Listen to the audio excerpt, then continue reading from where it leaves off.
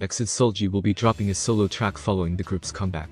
According to her agency, she will release her new song, I Believed It Was Love, literal translation, on October 11th.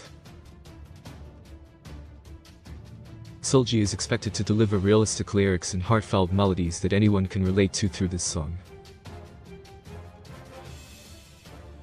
This song will not only be released as a song, but also be produced as a music drama.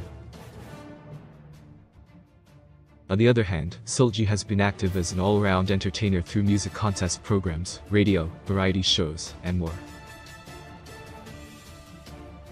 EXID EXID struggles to do the gyre piece trend, sparking a debate among the members EXID's members all had different reactions to recording together after three years. Netizens have mixed reactions to the action taken after EXID's Hani came under fire for cultural appropriation. EXID to drop 10th debut anniversary album Exi More Exit.